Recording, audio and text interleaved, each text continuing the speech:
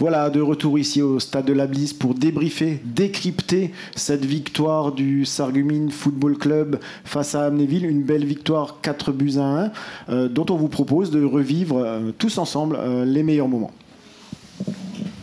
Alors le coup d'envoi qui, été, aura été donné par Amnéville dans, cette, dans cette rencontre, avec une action Evan Serius qui centre pour Adel Gendes qui ne peut malheureusement pas reprendre le ballon.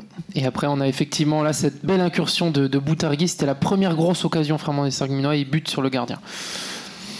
Enes Saïn euh, sur le côté gauche euh, de l'attaque. Bonne intervention du gardien de d'Amnéville qui, aura fait un, qui aura fait un bon match. Tout à fait. Il y a eu plusieurs euh, belles interventions. Et Boutargui, encore une fois, qui lance là le numéro 3 Serguminois qui, qui, a fait une terrible percée dans cette défense, qui a fait très très mal, qui revient sur Boutargui, qui fait une très belle passe à Enes, qui va conclure cette, cette action par le premier but Serguminois. Très beau but. Et donc à, ce moment-là, Sargumine qui mène un but à, zéro, c'est euh, un petit peu le, soulagement, la concrétisation un petit peu de la domination sarguminoise. Tout à fait. Cette première mi-temps a été largement dominée par les Sarguminois. Là, une action fort litigieuse, cette faute de Cécile Stephenson qui nous semble en dehors de la surface de réparation. Malheureusement, l'arbitre on a décidé autrement et c'est le numéro 9 euh, de d'Amnéville, Hamza Mourchid, qui convertit cette, euh, ce penalty. Tout à fait. Un partout. Euh, ce fait de jeu hein, qui, relance Amnéville.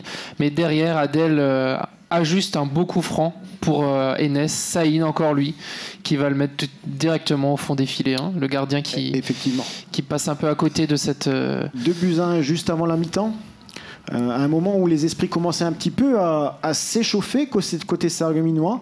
Il s'agissait de bien rester dans son match.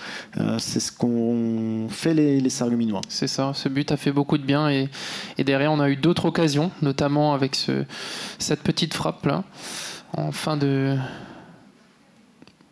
et donc là, peut-être à ce moment-là, le tourne du match, une occasion très nette, 2 buts à 1 pour, euh, Sargumine. Et cette magnifique occasion, malheureusement, l'attaquant d'Amnéville enlève trop sa frappe tout à fait. Et derrière, on a une belle frappe ici euh, du Sarguminois, juste au-dessus de la barre transversale, qui derrière se concrétise par une autre occasion, magnifiquement menée par nos trois compères, Boutargui, euh, euh, Adèle Guindez et encore une fois Saïn qui arrive au, bon moment, qui est bien placé en renard des surfaces, qui, met encore cette balle au fond des filets. 3-0 pour Sargumine, belle, belle deuxième passe décisive d'Adèle Guindez.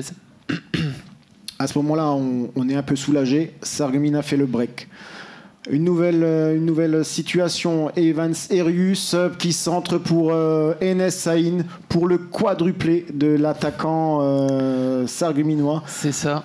4-1 et à ce moment-là on respire. Hein. Effectivement, tout à fait. Un nouveau Evan Serius dans ses, dans ses œuvres, très actif pour Roma Toriello qui venait juste de faire son entrée en, jeu, mais malheureusement.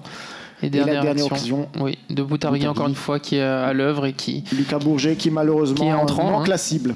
Qui, oui.